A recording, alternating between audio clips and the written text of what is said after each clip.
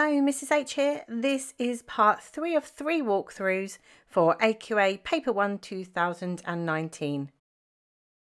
Question 6. People with diabetes have difficulty controlling their blood glucose concentration. Which part of the blood transports glucose? Lymphocytes, plasma, platelets or red blood cells. Well, the glucose is dissolved in the plasma part of the blood, so we'll go with plasma. Glucose is often found in urine of people with diabetes. Name a chemical used to test for glucose. That is going to be Benedict's reagent. And describe a test that could be used to show that a person's urine contains glucose. Well, we could add Benedict's reagent to the urine and heat that in a water bath if glucose is present, the colour will change from blue to orange or yellow, brick red, green, any of those colours. If you wrote any of those down, that would indicate glucose was present. The body cells of a person with untreated diabetes lose more water than the body cells of a person who does not have diabetes.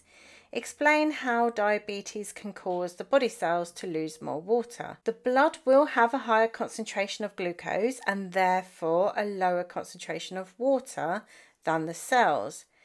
The water molecules will move out of the cells and into the blood from a high water concentration to a low water concentration through a partially permeable membrane by osmosis. Glucose is absorbed into the blood in the small intestine by both diffusion and active transport. Describe how the small intestine is adapted for efficient absorption. Well, the small intestine has folds called villi, which increase the surface area. Each villus have, or villi plural, have capillaries that are one cell thick. This keeps the diffusion distance for food molecules moving into the blood short. The blood supply provided by these capillaries maintains a concentration gradient, i.e., as soon as the food molecules diffuse into the blood, the circulation of the blood flow moves that blood on, keeping the concentration gradient.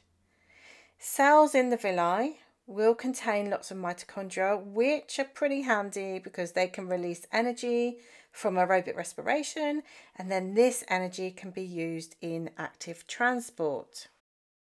Question 7. A small animal called an axolotl lives in water. The axolotl has a double circulatory system. Define the term double circulatory system. And I just want you to appreciate my lovely diagram of an axolotl. But if you're not convinced by my diagram, there is one on the next page, so don't panic. Anyway, a double circulatory system. Blood is pumped to the lungs by the right side of the heart, and that's called the pulmonary circuit. And blood is pumped to the rest of the body by the left side of the heart, and that's called the systemic circuit. Figure 7 shows the double circulatory system of the axolotl. So we've got gas exchange surfaces and we've got the body there. The heart of the axolotl has only one ventricle. Label the ventricle on figure 7. There's no other place it could be. Explain why having only one ventricle makes the circulatory system less efficient than having two ventricles. The oxygenated and deoxygenated blood are going to mix in one ventricle. They don't do that in a heart with two ventricles. Because the ventricle has some deoxygenated blood in it, when the ventricle contracts, less oxygenated blood will reach the body cells. Figure 8 shows an axolotl, so here we go, that's what one looks like. Explain why an axolotl may die in water with a low concentration of oxygen. The oxygen concentration gradient from the water to the axolotl will be less steep, so less oxygen will diffuse into the blood at the gills, you know, those fluffy things on, on the heads there. Oxygen might even diffuse out of the axolotl. With less oxygen, there will be less aerobic respiration, so there will be less energy released for the axolotl. Remember not to say less energy produced because you won't get marked for that. So there will be less energy released. The axolotl will find it difficult to move, for example, and more anaerobic respiration will take place, meaning more lactic acid is produced, which is toxic. So the poor little axolotl, if it's not going to be able to move, it might be picked off by predators. I mean, that's one fate that could await it. If a gill of an axolotl is removed, a new gill will grow in its place. Scientists hope to use information on how axolotls grow new gills to help with regenerating human tissue. Name the type of cell that divides when a new gill grows. Stem cells. Name one condition that could be treated using regenerated human tissue. There are lots of things that stem cells are used for. So, one that would be a popular one in your textbook would probably be paralysis. You could put diabetes, Parkinson's, heart disease, stroke, cystic fibrosis, cancer, burns. The list goes on. Suggest one reason why an axolotl is a suitable animal for research in the laboratory. Well, it's easy to breed and removing a gill won't actually kill the axolotl. I imagine it's not going to be very pleasant though, so there's ethical issues there. An axolotl may not be a suitable animal to study when researching regeneration in human tissue. So it could be or it could not be. Okay, so suggest one reason why it's not suitable. Well, it's not human for a start, is it? So it is an amphibian. It's not a mammal like humans. Question 8. Pancreatic cancer develops when a malignant tumour grows inside the pancreas. The pancreas produces digestive enzymes. What is an enzyme? An enzyme is a protein that catalyzes or speeds up chemical reactions in living organisms. Enzymes have a specific shaped active site that has a complementary shape to its substrate. Carbohydrase is an enzyme produced by the pancreas. Name two other organs in the digestive system that produce carbohydrase. That is going to be salivary glands and small intestine. One symptom of pancreatic cancer is weight loss. Explain how pancreatic cancer may cause a person to lose weight.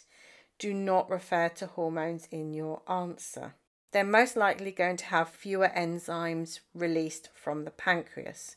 So there will be less carbohydrase, protease, and lipases, and this will mean that food can't be fully broken down. So if there's less glucose absorbed into the bloodstream at the small intestine, then there will be less respiration, so less energy released. With less glucose available, fat stores will be broken down to provide energy to the cells, so that's going to make the person lose their weight. There will be fewer amino acids absorbed, so fewer proteins will be made for repair, replacement, and growth. And also, the patient is most likely to be undergoing chemotherapy, radiotherapy, and that can cause nausea, a loss of appetite. So, uh, that person's not going to be eating as much. Enzyme A and enzyme B are involved in controlling cell division in pancreatic cancer cells. Most cancer cells produce both enzyme A and enzyme B. Some people have a gene mutation that stops cancer cells producing enzyme B. Figure 9 shows how cell division is controlled in pancreatic cancer cells.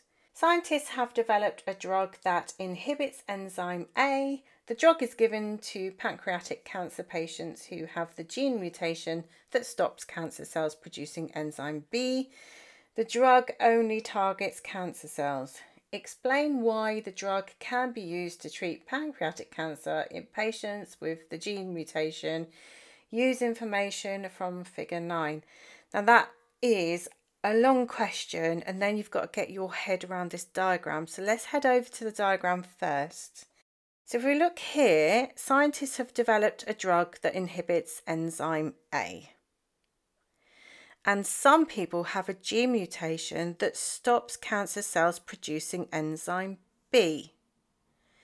So with the combination of both of those together means there will be no enzymes that will cause the cells to divide uncontrollably. Right, so that is good. That is good news. So what we need to put for our answer is that the cancer cells cannot divide, so the tumour doesn't grow because both enzyme A and B are inhibited and you can see from the diagram you only need enzyme A or B in order for those cells to keep dividing uncontrollably and cause the cancer. So if neither of them are there, no cancer. Explain why the drug could not be used to treat pancreatic cancer in a patient that produces both enzyme A and enzyme B. The drug only prevents enzyme A, so there will still be enzyme B being made because these people don't have that mutation to stop it. So unfortunately, enzyme B will still be made, which will mean the cells can still divide uncontrollably and the tumour will continue to grow. The drug was trialled before it was licensed for use. To improve validity of the results in the trial, some patients were given a placebo and a double blind trial was used. Give reasons why a placebo and a double blind trial were used.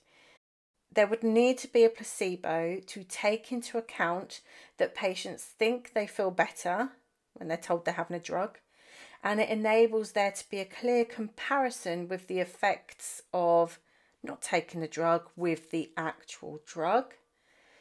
And a double blind trial is where neither the patient nor doctor knows who is taking a placebo and who is on the actual drug.